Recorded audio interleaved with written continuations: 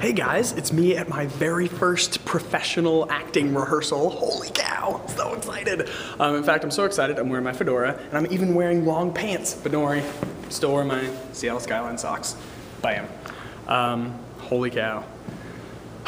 it's like the first day of school, seriously, and all my classmates are way cooler than me. Oh well, this is to be expected, right? More from me later. Yee. I'm uh, walking home after my first rehearsal as an equity actor. Um, this is our first day.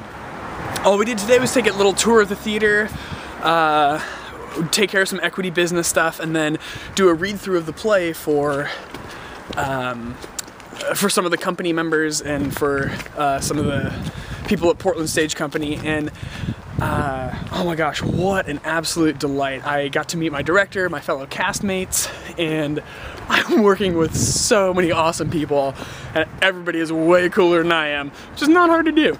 Um, but yeah, it's gonna be awesome. Uh, this is my first time working with a deaf actor.